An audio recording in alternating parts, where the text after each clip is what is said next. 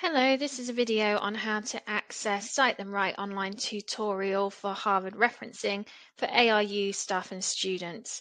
So the first thing I've done is Googled Cite Them Right and it's the top entry here. You might want to go via the library website instead. Once you're on the platform, you need to log in. And to log in, you need to do this via your institution. So at this point, I need to search for Anglia Ruskin.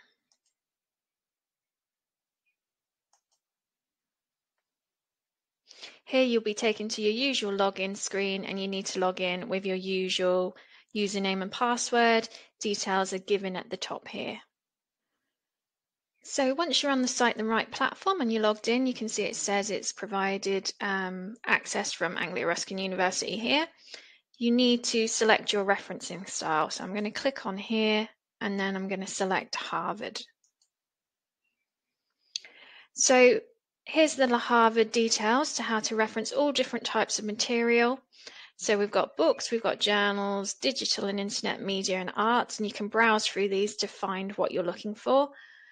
Under the book section, you can see it's further broken down into um, different types of books as well so you can have a look at any of these categories.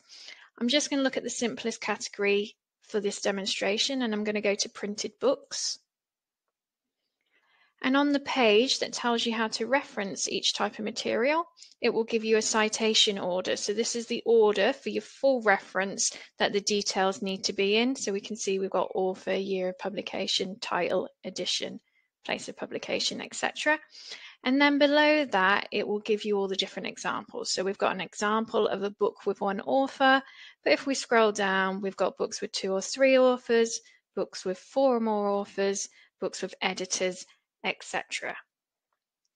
If I go back to this simple reference of a book with one author, you can also see for each of the examples, it gives you an in-text citation example, which is really nice. So this goes in the body of your essay and then it gives you a full reference list example. So we can see here there's the full details that would be needed in your reference list if you cited Cottrell here.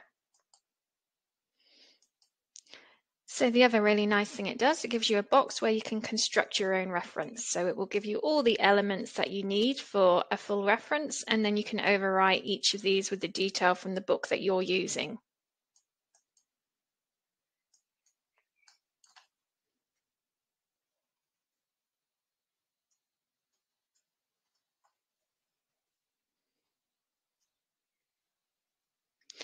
Once you have your reference, you can then copy that and paste that into a Word document.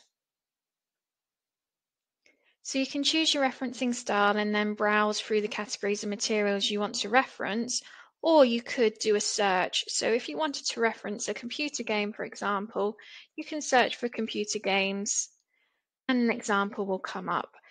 If you haven't already chosen your style, you'll need to filter again for Harvard.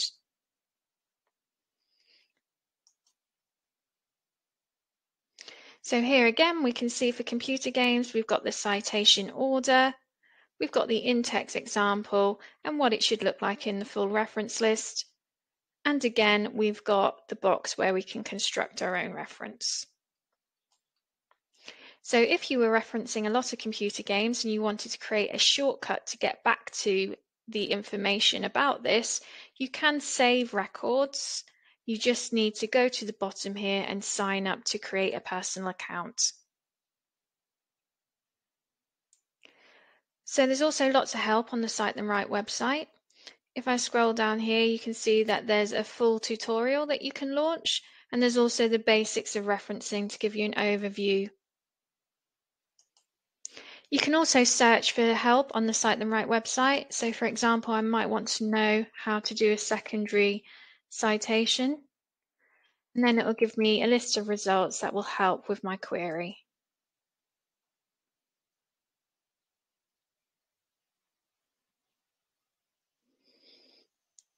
So that's a quick overview of the Cite Them Right website. If you do have any queries, please get in touch with the library or your subject librarian.